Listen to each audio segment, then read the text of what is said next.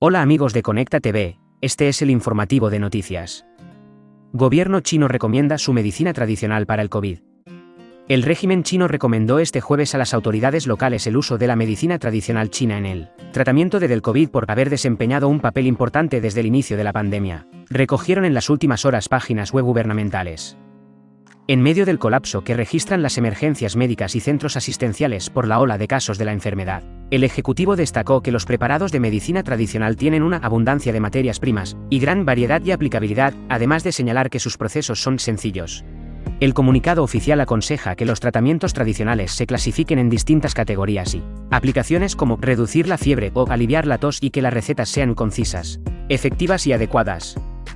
El gobierno pide a las autoridades locales que combinen medicina china y occidental y que usen los medicamentos según sus condiciones locales y el suministro disponible. Japón registra gran aumento de muertes por COVID. Japón registró este jueves su número récord de muertes diarias por coronavirus, con un total de 420, según datos publicados hoy por el Ministerio de Salud, Trabajo y Bienestar del país asiático. El país registró 192.063 casos confirmados el jueves acercándose al récord histórico del pasado agosto, cuando alcanzó los 260.000 en un día, según la misma fuente, aunque en ese momento los muertos no superaban los 300 en un día. Según algunos expertos, este aumento en el número de fallecimientos podría estar relacionado con el empeoramiento de la enfermedad entre pacientes crónicos, la mayor parte de ellos de avanzada edad. Esto convierte al país asiático en el primero con más casos confirmados en todo el mundo en la última semana y el segundo en número de muertos, solo por detrás de Estados Unidos, según las cifras de la Organización Mundial de la Salud.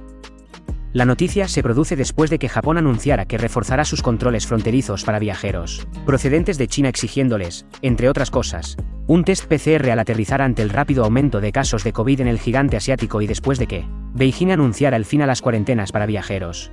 Pelé murió a los 82 años. Este jueves, 29 de diciembre, Pelé, el rey del fútbol, murió a los 82 años luego de una dura batalla contra el cáncer de colon. En septiembre de 2021, el ex atleta se sometió a una operación para remover un tumor y estuvo en quimioterapia desde entonces. En las últimas semanas, su salud preocupó a sus fans luego de ser internado en un centro médico en condiciones delicadas. Su hija Kelly Nascimento fue la encargada de confirmar la triste noticia en sus redes sociales.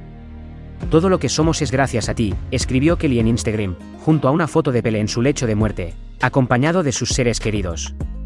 Te amamos infinitamente. Descansa en paz.